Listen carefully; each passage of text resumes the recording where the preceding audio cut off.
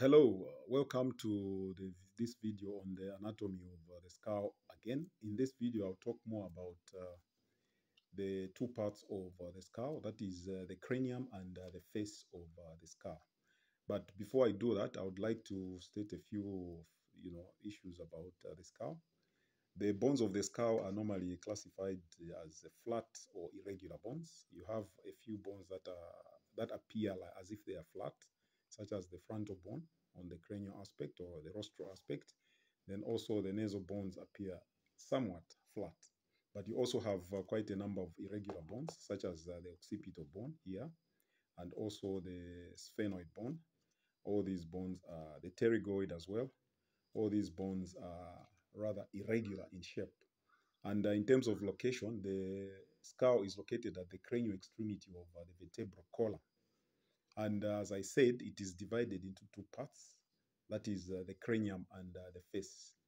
Now, the, the cranium is uh, composed of those bones that those bones of the skull, which actually immediately surround the brain, and which are incorporated into the floor and the vault of uh, the brain cavity.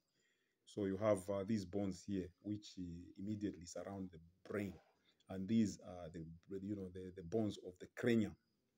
So these are the brain case bones. Then, uh, of course, uh, you have uh, the face, which uh, consists of uh, bones of the skull which are not part of the cranium.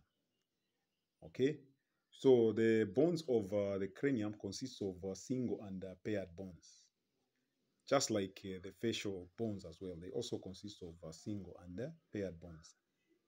The facial and uh, palatal region is uh, specialized to provide a large surface area, you know, saving uh, respiratory and olfactory functions.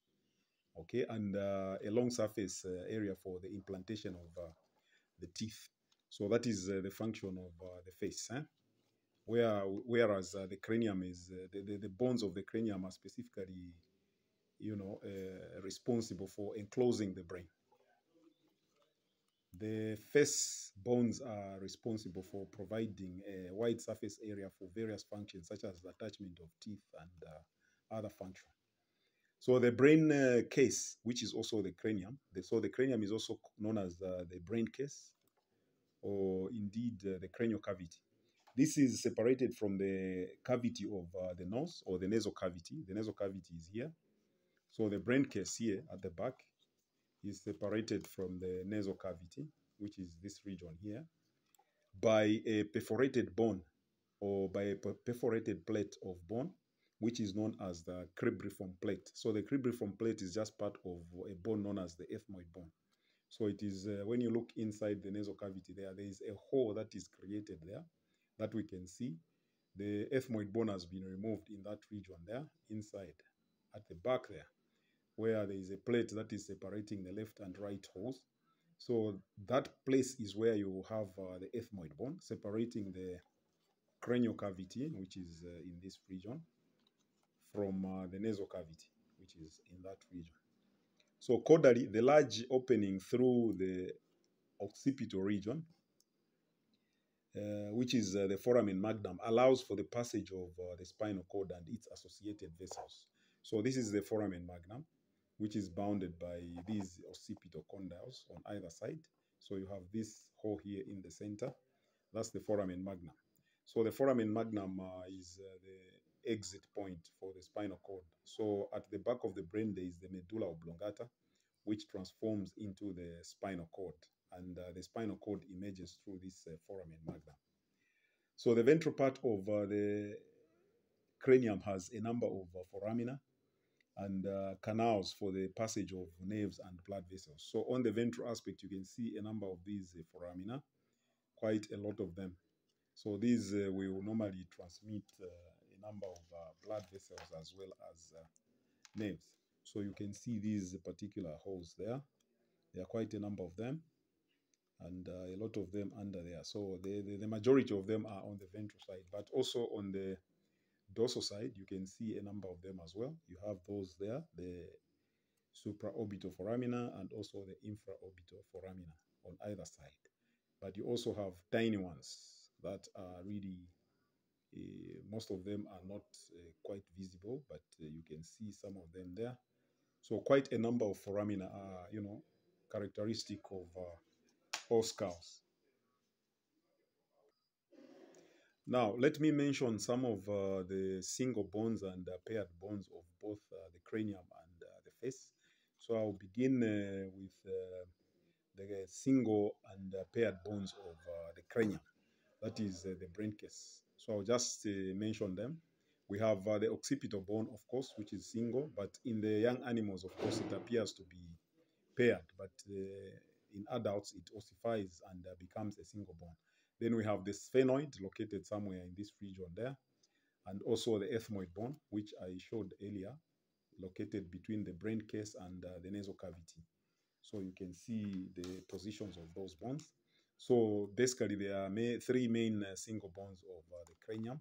Then the paired bones of uh, the cranium include, of course, the interparietal, which is in this region here. It's a small bone that is normally fused with the parietal bone. So you have this as the parietal bone. And of course, you have, uh, you know, also on the left and right side, you have uh, parietal bones. Then, of course, you have the frontal bone. And in the goat and uh, the bovine or the cow, you, the frontal bone is the one that bears the cornual process or the horns, these structures here. So this would be the frontal bone. And it is on the frontal bone that you have uh, these uh, structures here, the foramina, which are known as the supraorbital foramina. So then the other bone which is uh, paired is of course uh, the temporal, the temporal bone, and it has two parts. There is the squamous part as well as uh, the petrous part of uh, the temporal bone. And the petrous part is the one that contains the external auditory canal. Now I'll talk about, or rather, I'll just uh, mention the single bones and paired bones of uh, the face. So in this uh, region of uh, the skull, which is the face region, we have uh, a few single bones. There is what is known as the vomer, and the vomer is located in front of the sphenoid bone. That's the vomer there, and uh, it uh, ends up, uh, you know, connecting into the nasal cavity as well. Then, of course, you have the mandible, which is not shown in this skull. It has been disarticulated. It's removed. This is form. This forms the lower jaw. This forms the lower jaw. In the other video, I'll show you the anatomy of uh, the mandible in some detail. Then we also have uh, a single bone known as the hyoid bone, which forms part of um, the, what is known as the hyoid apparatus. Then the paired bones include uh, the maxilla, which is uh, this bone there. This bone here is uh, the maxilla. Then also you have uh, the premaxilla on the lower side there. That's the premaxilla. And uh, then you have the pterygoid. The pterygoid is located in this region here, close to the sphenoid and also the premaxilla. Then, of course, you have uh, the nasal bones, being also part of the paired bones. These are the nasal bones. Then uh, you have uh, the lacrimal bone. The lacrimal bone is uh, this bone here. That bone here will be the lacrimal bone. And then, of course, you have uh, the malar, the malar bone, which is uh, that bone there. Then you also have uh, the zygomatic bone. So the zygomatic bone is that bone there. Then, of course, you have uh, the dorsal and uh, ventral turbinate bones. The dorsal and ventral turbinate bones are normally located in the nasal cavity.